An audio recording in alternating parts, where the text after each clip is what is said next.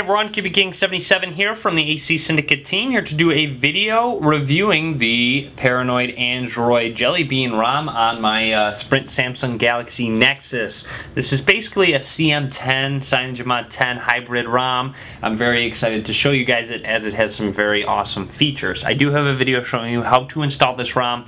If you want to check that out, if you have a Sprint Galaxy Nexus, I will link to that video in the description. But let's go ahead and get into it. So right away, after you install it and you reboot it, you'll you'll basically get the feeling of it being basically stock Jelly Bean. Um, as I said, it is CM10 based, so I mean you got your your stock launcher. Um, you have all your nice Jelly Bean features, that uh, Jelly Bean lock screen, where you can go to camera, unlock, all that good stuff. You have those Jelly Bean animations that uh, make everything feel very fast, buttery smooth.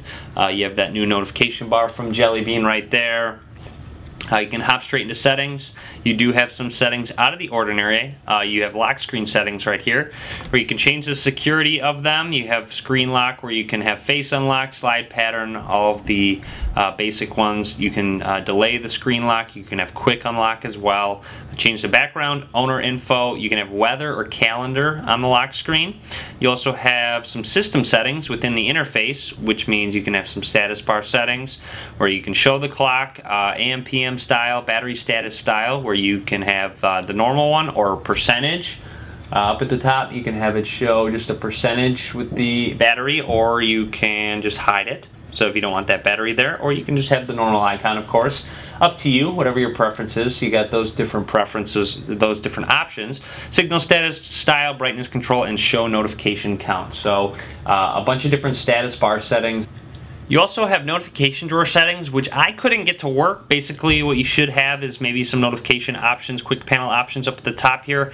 I couldn't get them to work, some widget buttons there. You can uh, hide scroll bar, hide indicators, but I couldn't get it to work, so I don't know if it's a bug or uh, just hasn't been implemented yet, but hopefully that will come in the future, I'm just doing something wrong. But anyways, uh, you can change your wallpaper font size as well. So those are your two interface settings within these settings. Uh, you have CM10 profile, so you can change default, home, night, silent work. You also have some performance settings. Be careful, proceed with caution when messing with these. Uh, depending on the kernel you're running by default, I believe you can overclock to 1350 megahertz, 1.35 gigahertz. So that's nice. Uh, you just check set on boot and you can change your CPU governor as well. So those are within the ROM itself, memory management uh, and other things. So go to About Phone, you will see Android version 4.1.1. It is based off of Jelly Bean. Of course, quickly tap on it. You got that nice uh, Android 4.1 Jelly Bean thing going on. And you can push those Jelly Beans around. Anyways, um, again, you got your CyanogenMod version Paranoid Android, Paranoid Android ROM. And we also had, that's really not the, even the best part. Of course, that would be more of the CM10 features within this ROM, but the best part about this is the different uh, modes that you can basically put your device in. Again, as I said, it has all, all those nice Jelly Bean features. Application-wise, it is pre-rooted. You have ROM Manager, Play Music. You have Apollo, that CM10 C CyanogenMod music application, but really nothing else out of the ordinary. Basically all stock applications, but you do have Paranoid Android settings application right there, which is basically basically very cool. So we can go into, oh, not user interface, but configuration, and you will see you have a bunch of different configurations. I'm completely stock right now, I believe. So I just went to stock, and it's basically like a normal device running CM10. Uh, you have phone, which doesn't change too much, um, and then you also have phablet and tablet options. So what I'm going to do is show you the phablet and tablet options. Um, from my experience, I had to reboot after I changed. So you have phablet small and phablet big. Um, I'm going to do small just because uh, I'm going to have everything, I, I, like to have it more condensed. But again, you can try them both and have it be big. So it's really up to you what you like. Um, it's, it's basically your options. So, um, and you also have tablet small and tablet big. I'll get to that in a sec. So I'm going to change it to fab, phablet small. It'll go ahead and apply, but it won't apply right away. Again, as I said, I always had to reboot. Um, so I'm going to go ahead and hop and do a reboot, and I'll be back once it's rebooted.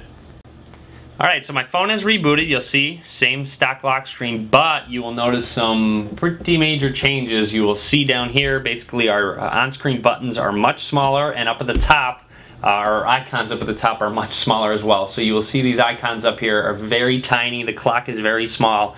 Again, you can choose the, the bigger option with phablet mode because this is the phablet mode. So you can choose the bigger option if you don't like it being this small. Uh, you pull down the notification bar, you'll see it has basically a more condensed notification panel, nice and small right there, show those notifications. You can turn on and off screen rotation and go into those settings. So you have that option as well. Again, you have the phablet uh, larger option, which you can choose. But down here, those on-screen buttons are uh, much smaller as well, which gives it the feel of a lot more screen screen space, excuse me. So you'll see, I mean, you've got recent running apps being smaller as well. It being so small gives it that feeling of bigger screen space, which it is, which it does have. I mean, if you think about it, uh, it's extended down and extended up, so you definitely have more of that uh, screen space going on. So that would be the phablet small mode.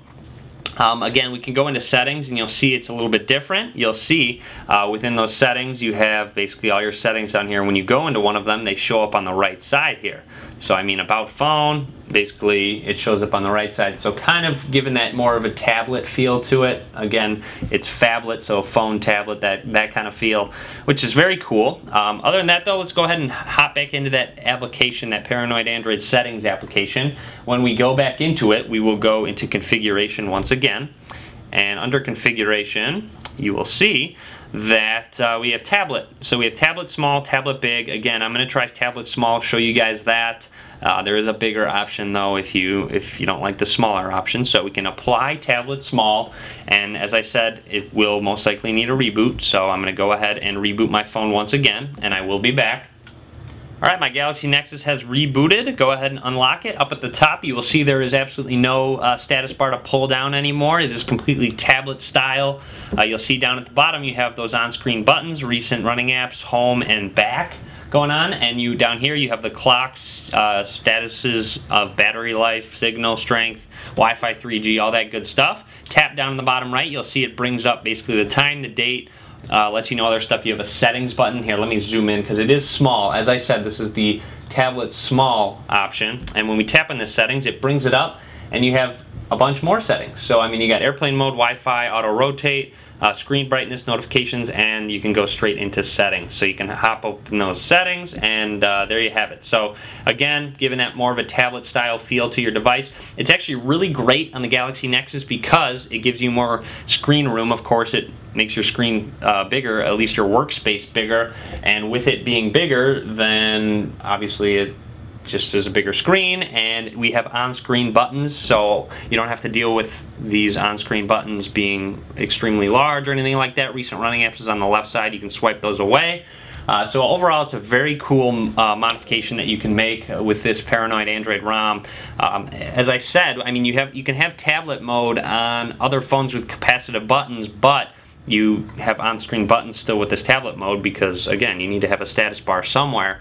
So uh, it really combines the two the, the buttons and the status bar all in one with this tablet mode. As I said there is a bigger one so uh, if you're not if your eyes aren't accustomed to seeing such small icons down there you can definitely use the bigger one which is great that they give those two options we can go back into those paranoid Android settings. You can actually customize certain things. So user interface, if you only want to customize certain things, you can set certain default ones, status bar, system default, user default, framework res. Uh, be careful with all that good stuff. I mean, there are preset configurations that I would recommend just messing with as opposed to going in depth. Unless you know what you're doing, then feel free.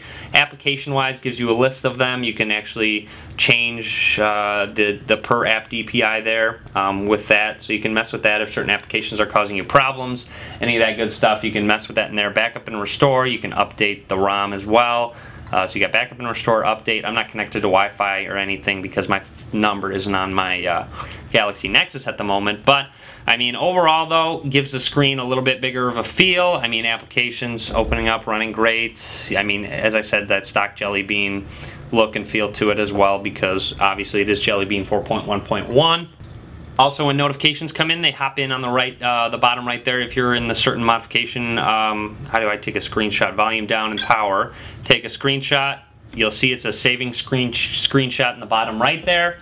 And there we go. So it says screenshot is saved while actually a notification comes up. So you'll see uh, that it, it, went away, that saving screenshot went away. You can pop it up and you'll see screenshot is captured. You can swipe away that notification. Again, if you get a, a text message, anything like that, you can swipe those away. Tap on it, it goes straight into it. But when you actually get a specific screenshot, I mean a specific notification, let's say a text message comes in, um, for example, this screenshot notification is going to act as a text message notification. So let's say I take a screenshot, the text message notification will pop up like that. If you tap on it, um, if you, I tapped on the message notification, it would go directly into that message. Um, for I believe it sits there for what, three, five seconds, and then it goes away in the background like this where you have to tap, tap the bottom right to go into it. So that's just a, a very cool thing um, that you can do. So, so very nice with those notifications. They look very cool. So, I mean, if you have a Galaxy Nexus, you're definitely going to want to try out this Paranoid Android ROM. I don't know of any bugs. It is in alpha state, so I mean, you might run into a couple bugs, but you really, I mean, it should just about everything be working. Let's go ahead and go into the camera application. Um, I mean, really nothing out of the ordinary with the camera application. Take pictures. Got the Jelly Bean one. Swipe, uh, swipe, swipe over, and you should be able to view pictures. It doesn't look like you can do that in tablet mode because, oh, there we go. So, I mean, you just have to press on this certain spot as opposed to the status bar. So, again, just continuously take those awesome pictures. You got more settings right here. I mean, you got many different settings to mess with uh, with this. I mean, the, the buttons are kind of small in the bottom right here. They do seem kind of small, but again, you have the bigger tablet mode option, so no big deal there. Let's go ahead and hop into a YouTube application. It's not going to work. I just realized that. Let me go ahead and uh, hop onto Wi-Fi. Alright, so hopped on the Wi-Fi. Let's go back into that YouTube application again. I mean, these are very condensed, but you can see so many applications within your recent apps uh, list because of it being so condensed. So, I mean, it's very quick and easy to hop through. You got that new uh, YouTube application, so uh, very cool there. I mean, you can browse through all the different stuff if you want to check out different gaming. So hop into that. I mean, um, you got the new, basically Jelly Bean style YouTube application that uh, Google has pushed out. Uh, other than that, though, I mean, that's really about it. Uh, you got that awesome tablet modification. I mean, you can also run your device basically as a just a normal phone on CM10 if you if you don't like the certain option. I mean, so I mean you can switch between them on the fly if for any reason you want it at a certain time and you want to go back to the other one, you can go back and forth.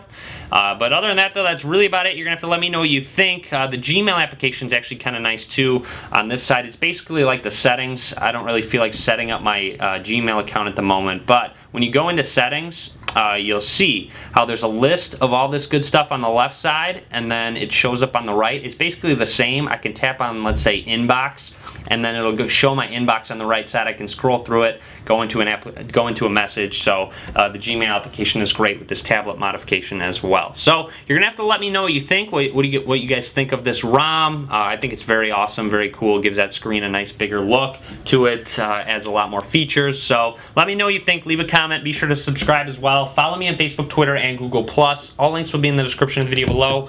As always, thanks for watching. Be sure to give this video a thumbs up.